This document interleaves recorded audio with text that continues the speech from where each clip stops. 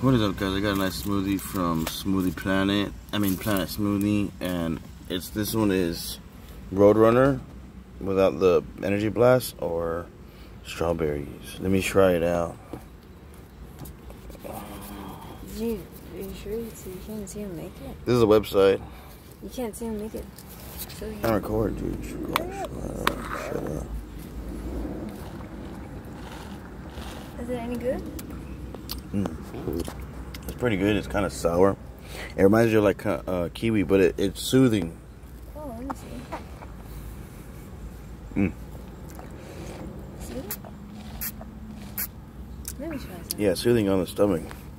I kind of had a feeling it would be. When I saw that. Kind of needed that actually. But that's actually pretty good. Like it helped me. Dude, don't record me. I'm not the light. It goes everywhere. Okay, guys, like, subscribe, and share. Check out links in the description. Peace out.